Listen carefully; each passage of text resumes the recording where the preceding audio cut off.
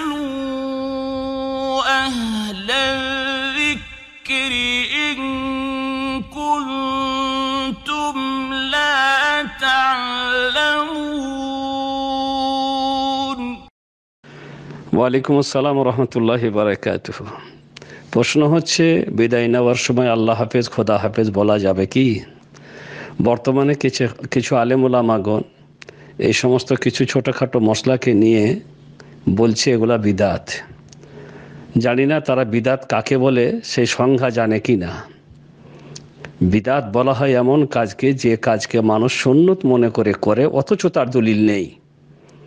এটার নাম হচ্ছে বিদাত।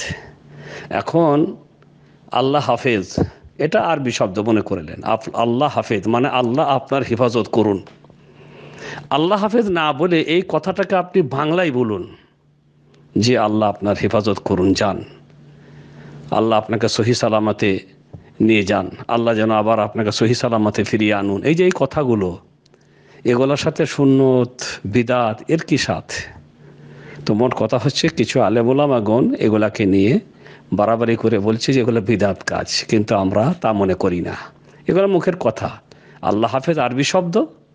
আর সেটাকে আমরা বলতে পারি, যেমন এখানে সৌদিরা মানে আরবের যারা, আরবের বাসী যারা, বা আরবি ভাষা যারা, তারা অহরহ বলতে থাকে হাফেদ কাল্লাহ আল্লাহ ইহাফাজ, আল্লাহ আপনার হেফাজত করুন, আল্লাহ আপনার কি বলে, সহি সালামতে আপনাকে নিয়ে যান, এগুলা মানে পরিভাষা আর কি, অতএব এ নিয়ে বাড়াবাড়ি করা ঠিক নয়।